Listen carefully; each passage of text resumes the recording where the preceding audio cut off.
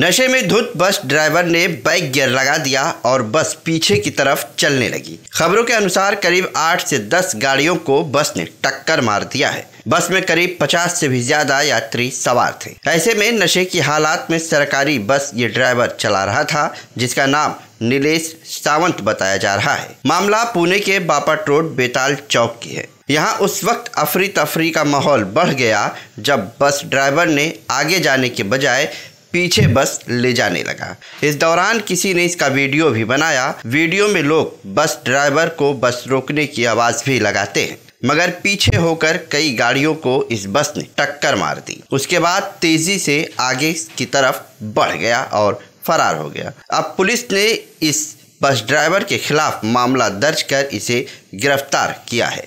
हालाँकि गाड़ियों की टक्कर ज़रूर हुई मगर किसी के घायल होने की खबर सामने नहीं आई है। ए, चरक चरक चरक